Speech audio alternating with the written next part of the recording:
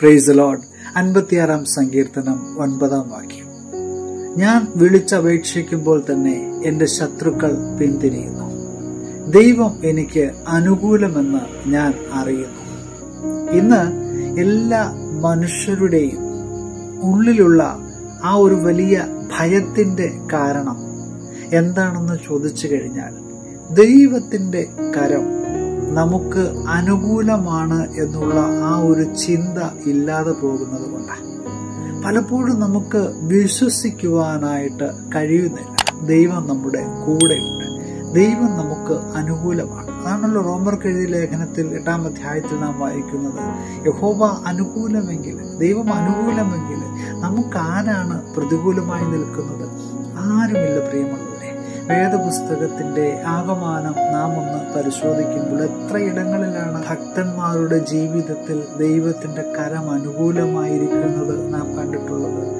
മോശ ധൈര്യപൂർവം ഫറവോന്റെ രാജകൊട്ടാരത്തിലേക്ക് കയറി ചെല്ലുവാനുള്ള ആ ഒരു ആത്മവിശ്വാസം.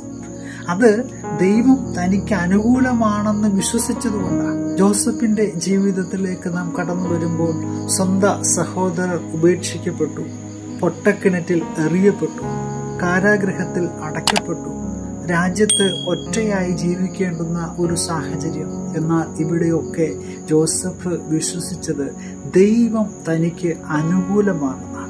ദൈവത്തിന്റെ കരം തന്റെ കൂടെ ഉണ്ടെന്ന് ജോസഫ് വിശ്വസിച്ചതുകൊണ്ട് താൻ ആ രാജ്യത്തെ ഏറ്റവും പ്രധാനപ്പെട്ട ഒരു വ്യക്തിയായി മാറുകയായിരുന്നു. ദൈവത്തിന്റെ വചനം അനുസരിച്ച് ജീവിക്കുന്നവർക്ക് തങ്ങളുടെ ജീവിതത്തിൽ എത്ര വലിയ പ്രതിസന്ധികൾ നേരിട്ടാലും ദൈവം തനിക്ക് അനുകൂലമാണെന്നുള്ള ഒരു ചിന്തയാണ് അവനെ ഈ ഒരു പ്രതിസന്ധിയിൽ പിടിച്ചു നിൽക്കുവാനായിട്ട് സഹായിക്കുന്നത്.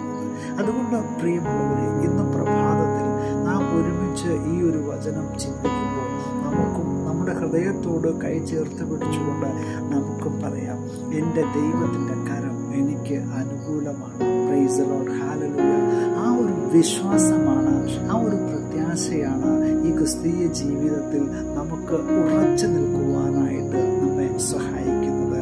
ഈ പുതിയ ദിനവും അനുഗ്രഹത്തിന്റെ നന്മയുടെ നല്ല ദിനമായി തീരട്ടെ എന്ന് ആത്മാർത്ഥമായി പ്രാർത്ഥിക്കുകയാണ്. Have A blessed day